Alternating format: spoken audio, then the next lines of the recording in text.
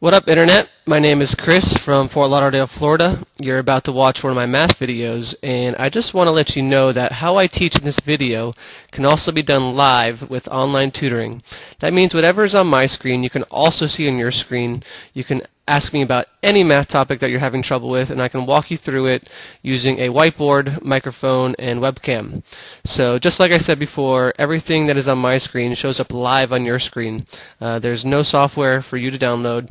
So if you want live tutoring or just need solutions to any set of math problems, uh, please email me at chris at mathmeeting.com. Once again, chris at mathmeeting.com, and I would love to help you out.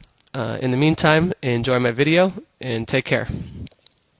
Welcome to my video. I am going to teach you how to solve systems of equations using the elimination method. And before I get started with an example, I want to teach you the different type of solutions you will get when you solve the systems using the elimination method. And a system of equations is just uh, two lines. And if you have two lines that are non-parallel, that means that they're going to touch only once and they only intersect one time, so that means that there's only one solution. This is the most common exa example with elimination problems, and most of your solutions are going to have uh, one solution. The second type of solution you can get is two parallel lines that are not overlapping. Uh, that means that they never touch.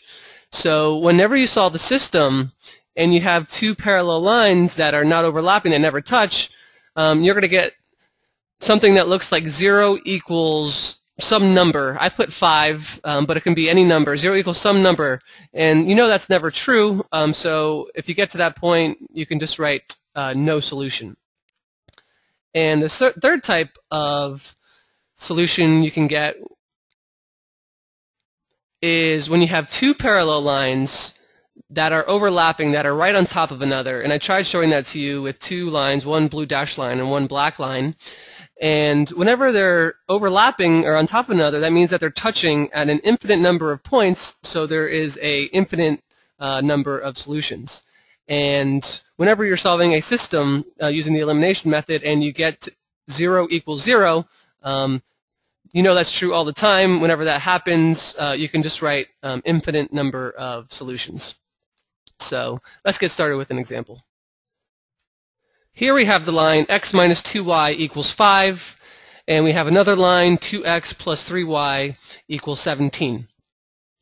And I wrote the steps for you on the left-hand side of the screen. And step number one is make x's or the y's eliminate. So in order to make an x or y eliminate, you have to make it exactly the opposite.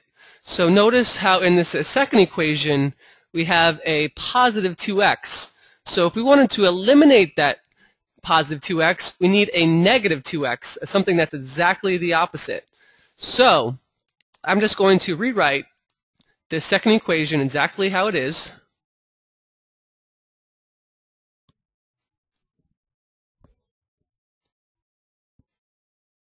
And once again, notice how there's a positive 2x in this equation, so I need a negative 2x to eliminate it.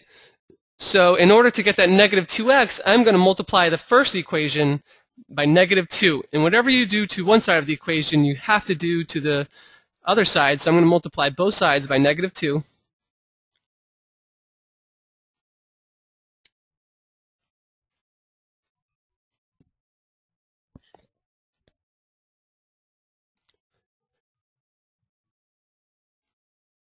And now notice when I distribute, negative 2 times x is just negative 2x.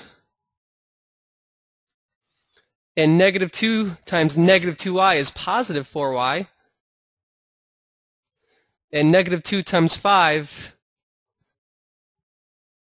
is negative 10.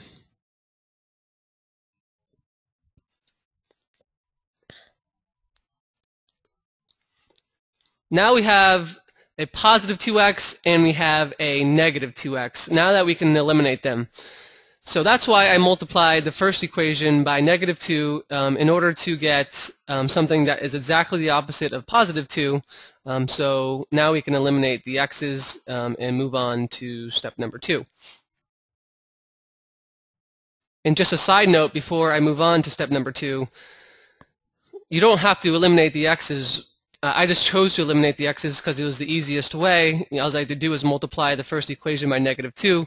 I could have eliminated the y's first. Um, either way, um, you're going to get the same exact answer that I'm going to get once I finish this problem. So step number two, add the equations. Once again, the two negative 2x and the positive 2x eliminate. If you get a 4y and a 3y, that turns into a 7y. And if you add negative 10 and a positive 17, you get positive 7. Now we just need to solve for our y. And uh, you divide both sides by 7, and you get y equals 1. Now we can move on to step number 4 and solve for our other variable. Um, since we have our y already, now we need to get our x. So in order to get your x, you just need to plug your y into any of the equations. Um, I'm just going to use this equation because it's right here in front of me. Um, I'm going to plug my y into this equation and then solve for my x. So I'm going to bring down my 2x plus 3 times 1, because we know y equals 1, equals 17. This becomes 2x plus 3 equals 17. Subtract 3 from both sides and you get 2x equals 14.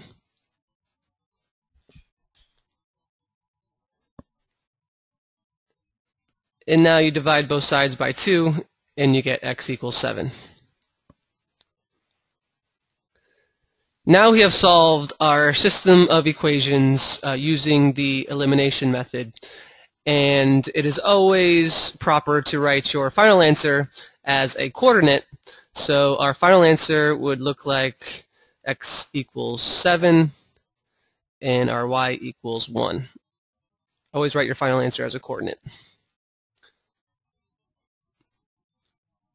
So I hope this video helped you gain a little bit better understanding of solving systems using the elimination method. Um, if you need any extra help, uh, with elimination or any topic in algebra, please feel free to uh, email me, chris at mathmeeting.com. I'd love to give you some live help.